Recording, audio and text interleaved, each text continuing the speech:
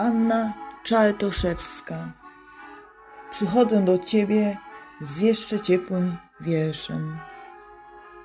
Przychodzę do Ciebie z jeszcze ciepłym wierszem, z rozgrzanym sercem, z łzą gorącą, bezdomną. A Ty mnie studzisz spojrzeniem w powietrze, okładem ściszy, odmrożoną, zbyt słabą miłością.